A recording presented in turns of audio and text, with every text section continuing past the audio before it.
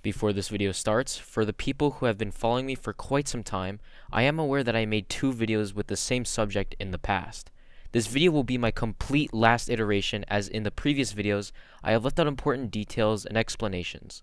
So without further ado, let's get started.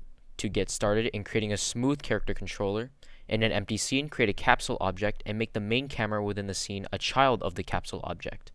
Once that is done, set the position of the main camera object to be one Y unit off its origin, so it is at the top of the capsule. This is the position that would represent the head. Now on the capsule object you created, add on a character controller component. The capsule object will represent the main player object. Now in your assets, create two new C-sharp scripts, one called player movement and the other called player look.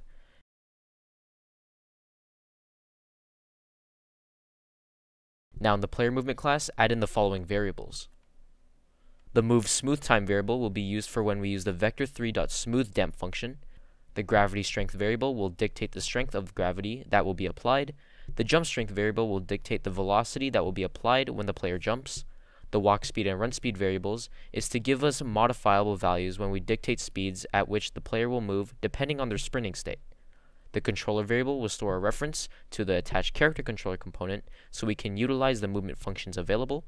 The current move velocity and move damp velocity will both also be used in the purpose of smoothing the player movement. Lastly, the current force velocity variable will mainly be used for the application of gravity onto the player object. So those are the variables. Now in the start function, we will set the controller variable to be a get component call for the controller variable's type, which is the character controller. Now paying attention to the update function, which is a function that runs every frame, we will record the player's input in a vector3 variable using the input.getAxis raw function on the x and z axis. We can get the left-right input keys and the forward-back input keys. The reason why we are using the getAxis raw function instead of the regular getAxis function is because we are applying our own smoothing onto the movement. With that done, we now need to make sure that our player input vector length is always 1. This needs to be done because it will have the player maintain a constant speed in all input cases. To do this, after setting the player input vector, we will check if its length, aka magnitude, is greater than 1. If it is, then we normalize the vector. Now, we need to convert the player input vector to a vector that is relative to our player objects forward. This needs to be done as the player can look around and it would be unnatural if the player was looking 90 degrees to the right, and when pressing their forward key, would proceed to move in the world forward, which would be towards the left when thinking in the player's perspective. So to do this, we will use the transform.transform direction function, and we will store the resulting vector in another variable called the move vector. Now with that done, we need to get the speed at which the player wants to move. In other words, we need to get the speed that reflects whether or not the player is sprinting or not. To do this, we can use the question mark operator using the input.getKey function as the conditional value. Now what we will do is use the vector3.smoothDamp function on our current move velocity variable as it will be the primary vector to move our player. With the smoothing of our current move velocity variable complete, we will now use the move function in our character controller variable to finally move the player with our current move velocity multiplied by time to delta time. The reason why delta time is used is because it will make the player movement constant and smooth regardless of frame rate. With those lines complete, the base movement of the player is complete but jumping and gravity is not implemented. To start with this, using a ground checking raycast that shoots down for 1.25 units, we will use this to change the current force velocity variable. If the player is on the floor, or in other words, the raycast detects a collision, then a constant force of negative 2 on the y-axis will be applied to keep the player on the floor when navigating slopes. We will also add in the jumping functionality by using the input.getKey function to check if the player pressed the spacebar. If the player did press the spacebar, then the current force velocity y-axis will be set to the jump strength.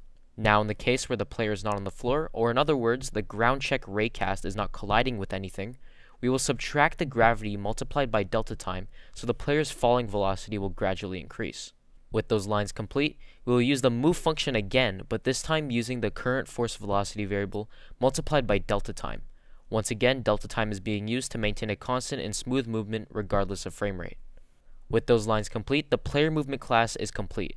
Now back in Unity, if you add the player movement class to your player object and set the different variables to your desired values, you will have smooth player movement with gravity, sprinting, and jumping implemented. Now it is time to add in player looking. To get started in the player look class, add in the following variables. The player camera variable will store a reference to our main camera so up and down looking is possible. The sensitivities vector2 variable will allow for us to customize sensitivity on both left right and up down looking. Lastly, the XY rotation variable will store the rotation angles that will be applied onto the player object and camera. Now in the update function, we will record the mouse deltas using the input.getAxis function to get the mouse x and mouse y deltas. After getting the deltas, we will subtract the mouse input.y multiplied by the y-axis on the sensitivities vector to the x-axis on the xy rotation variable, and we will add the mouse input.x multiplied by the x-axis on the sensitivities vector to the y-axis of the xy rotation variable. The reason why we are subtracting x to y and adding y to x is because rotating on the y-axis invokes side-to-side -side rotation, and rotating on the x-axis invokes top-to-bottom rotation. Also, the reason why subtraction is occurring only for the x-axis is because the top-to-bottom rotation is inverted when adding. With the math complete, we will limit the top to bottom rotation by using the mathf.clamp function, and we will set the world rotation of the player object to be 0, xy rotation.y 0. We will also set the local rotation of the player camera to be xy rotation.x 0, 0. These assignments make the player object handle side-to-side -side rotation, and the player camera handle top-to-bottom rotation. With these lines complete, if you go back into the Unity editor, attach the player look class to the player object, assign the player camera onto the player look class, and set the sensitivities to whatever you please, you'll be able to look around your scene and move around smoothly.